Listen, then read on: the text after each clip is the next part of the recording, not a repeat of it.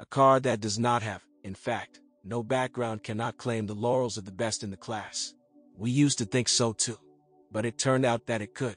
The Wolf car, this is how this name is translated, made a dizzying career. Not in the sense that it was sold in millions of copies. Not many can afford such a car, but in terms of reliability. In his childhood, Pikul did not suffer from either measles or scarlet fever.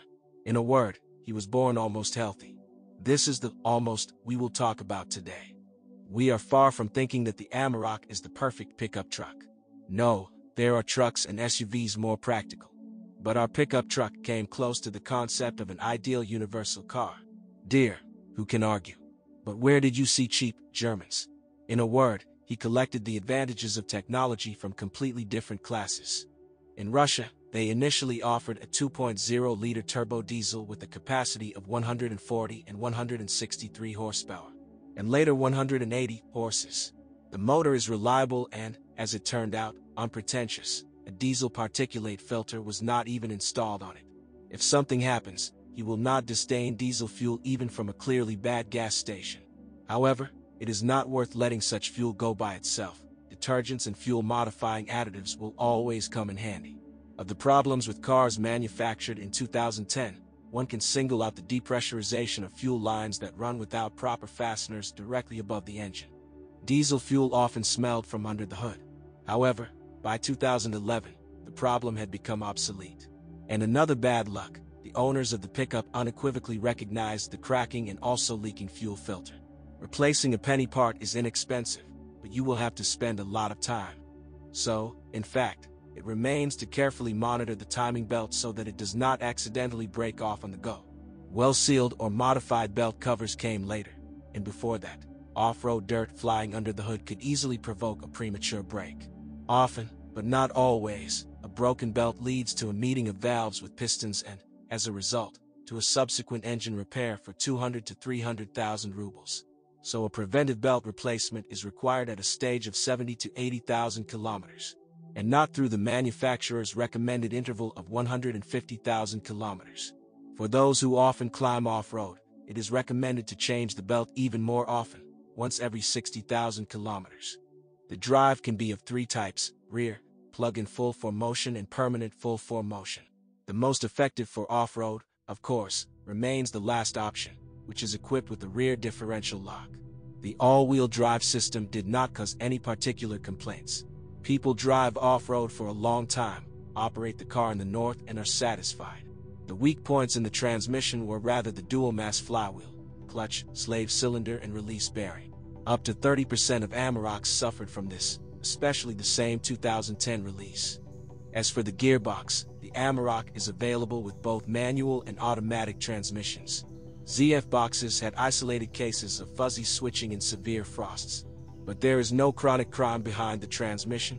Again, more often, the power steering pump died after abundant mud baths. However, these losses are more typical for cars of the first years of production. It is also difficult to catch the suspension for some kind of weakness. She walks around the city without limit. Someone changes wheel bearings every 30,000 kilometers, and others drive a factory pair up to 200,000 or whatever. Yes, fractures in the springs, there could be three or five, depending on the version, happen from overload.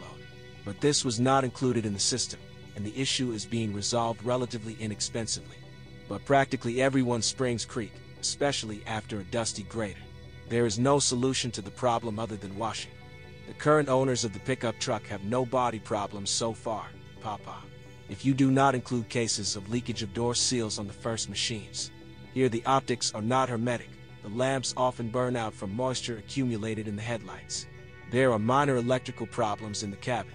For example, with failures of the right power windows. Rather, troubles in electronic computer brains are to blame here. Having traveled with an error for some time, many noticed that the problem went away by itself. Avoid lifted versions. The drive and CV joints fly three times faster than usual. In a word, you won't make many problems with the Amarok if the pickup truck hasn't been driven under a pallet of bricks off-road before every day. It is possible and necessary to buy a car. It has long become a rule of good tone and taste. The best option with a 180 horsepower diesel engine and automatic. With him, the car is much more confident rushing under load. But you can also consider less powerful specimens. They are driven on asphalt where it is decent. Transmission. Occasionally, especially at low temperatures, there are problems with gear shifting. On some machines, the gears turn off spontaneously, and then you have to change the box. Moreover, such problems arise regardless of the mileage. There is a destruction of the gear selection mechanism or its plastic housing. However, not all boxes are ugly in this way. Engine. Occasionally, a crack was diagnosed in the pipe that goes from the turbine to the intercooler. Insistent use of Euro 2 fuel will quickly finish off the fuel system. The fuel pump dies, clogging the entire system with small chips. Replacing fuel equipment will seriously hit the bank account. Isolated cases, the ingress of coolant into the cylinder, which entails the replacement of the cylinder head. Suspension. Without critical loads, you don't think about suspension repairs before the 100,000th milestone. Rear springs cost from 15,000 to 35,000 rubles. Many, by the way, are switching to tuning four-leaf more versatile springs. Front shock absorber, from 3000 to 8000 rubles. And the stabilizer rod will cost 2000 rubles. However, with a ton of cargo off-road and at high speed, problems will arise very quickly. Body.